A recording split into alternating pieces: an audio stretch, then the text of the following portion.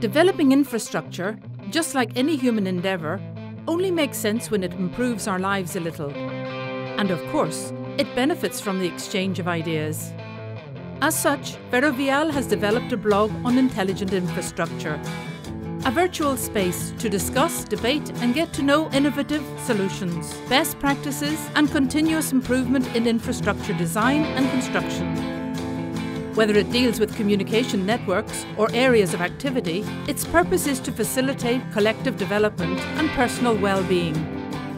Internationally recognized experts give their insight to this open forum, while anyone can comment, share and suggest ideas.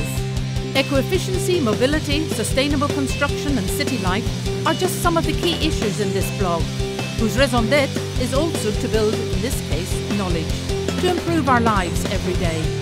We invite you to get involved at blog.ferrovial.com.